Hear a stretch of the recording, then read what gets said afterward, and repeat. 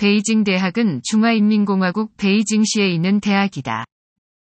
청나라 때인 1898년에 세워진 학교 기관으로 중국 최고의 국립대학이다. 설립 당시의 교명은 경사대학당이며 1916년 이후로 대학 개혁을 거치며 예과 3년, 본과 3년의 학제를 확립하였다.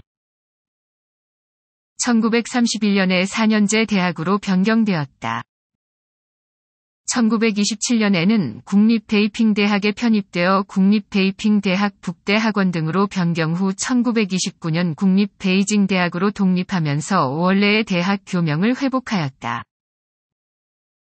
근대 이후로 신문화운동, 5, 사운동, 공산주의 혁명, 학리원조 지원운동, 문화대혁명, 인민영웅기념비에서 촉발된 1989년 텐남먼 사건 등의 주요 이행지이었으며 중화인민공화국 성립 이후로 식민주주의 체제에 발맞춰 선도적으로 학과 교과 과정을 개편하였다.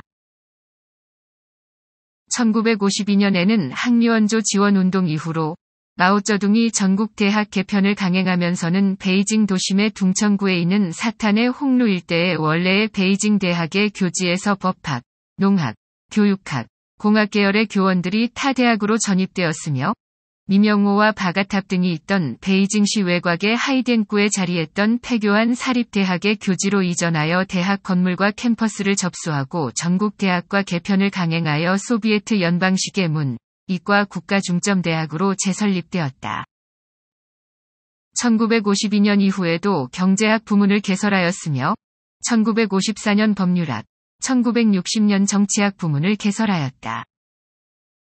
1990년대 이후로 경영학, 교육학 등 부문을 추가로 설립하였다.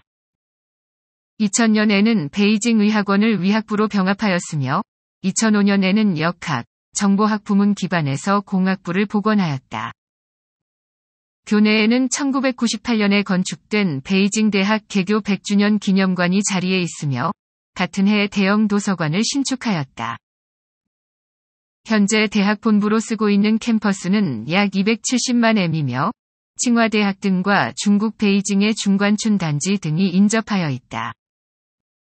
베이징 대학은 세계경제포럼에서 선정한 세계 최상위 26개 대학 중 하나로 선정되었다. 베이징 대학 신축 건물. 시청해주셔서 감사합니다.